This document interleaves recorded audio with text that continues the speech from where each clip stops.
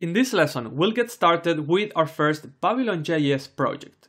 The first step is to head on to the Babylon.js GitHub repository page, where you can download all of the source code using download zip, or if you're familiar with Git, you can also clone the repository onto your computer.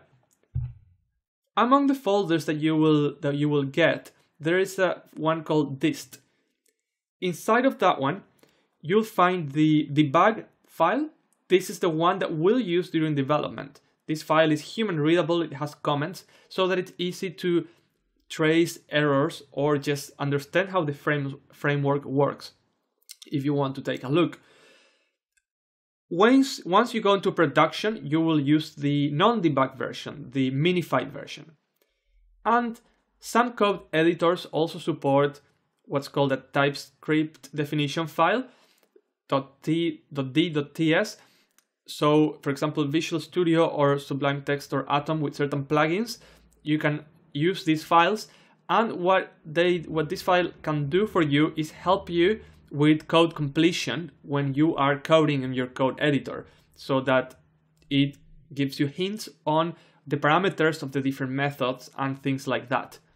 There's also another folder called exporters, which contains different scripts to export files from different 3D programs or even from Unity. Later in the course, we'll take a look at how to export from Blender. So in this folder, you'll find all the scripts that you need for that. So you've downloaded the library and now we'll take a look at the file structure of the project. We have a index.html file and then a folder called JS where I put the debug file, which is what we'll use during development, the production minified version of the library, and also the TypeScript definition file. So that's all we have. Now let's take a look at the code. In this course, I'll be using Visual Studio Code, which is a free version of Visual Studio, and it's cross-platform because it's based on the Atom shell, so I'm running it on Linux, Feel free to use whichever code editor works the best for you. This basic index file includes our debug file for the library and also some basic styling which sets uh, so that, that we don't get like scroll bars like this or things like that. There's no margin, no padding, and it occupies all of the space. Now, Babylon.js projects and WebGL projects really need a canvas element. So that's where all the magic takes place. We need to create our first canvas here. So I'm gonna give this canvas an ID of render canvas and, and I'm gonna close it.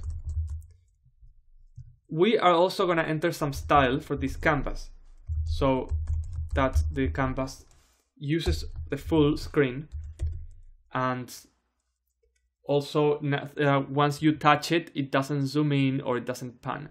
So we will set the width to 100%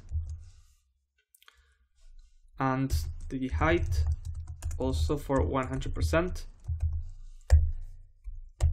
and we're gonna set this new CSS property called touch action to none which means that there's not gonna be zooming or pinching or panning on the canvas now we need to initiate our our code.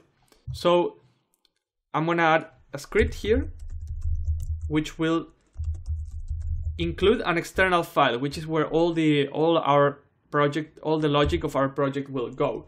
So this file I have yet to create will go inside of the JS folder and it will be called app.js. Inside of JS, then I'm going to create a new file called app.js. And inside of that file, I'm going to include the TypeScript, the TypeScript definition file so that we get this nice auto completion. So for us to do that, you write three um, slashes and then reference path equals um, Babylon, this one here. So this is because we're in the same folder. and we close this. So that's all you have to do in Visual Studio to include this. We will create a unique names, namespace for our application, which will be Babylon.js app. So if that is already defined in some other file that we might have included, then we will use that object. But if that hasn't been defined yet, we will use an empty object. So in this case, in this way, all of the code will not pollute the global scope or our, of our application. So our init function then getting the canvas that we've created on our index page. So we need to get the canvas var canvas equals document dot get element by id and this is called render canvas. Then we need to create a babylon.js engine object. Var engine new babylon dot engine. And I have to pass in the canvas and I want anti-alias, which means that it softens a bit some of the rough edges of the figures that we'll be, we will be creating. So I give this true.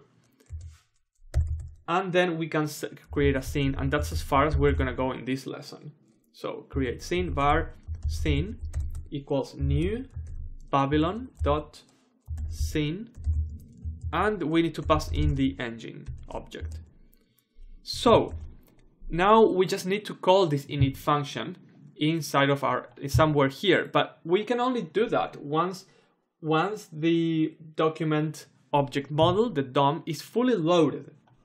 So we need to listen for that.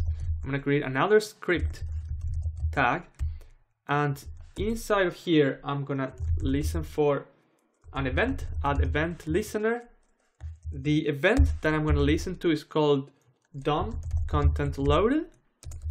This event is triggered every in any website when all the DOM is actually loaded into the browser. So that we know that the canvas will be there for us to use. That's basically why we need to do this. And what will happen here is Babylon.js app.init. Let's take a look on our web browser. To run to run Babylon.js applications, you need a web server. So in my case, I have Apache installed, which I use for many other projects. So I'm going to use that. I'm going to open the console and I'm going to go to this particular project.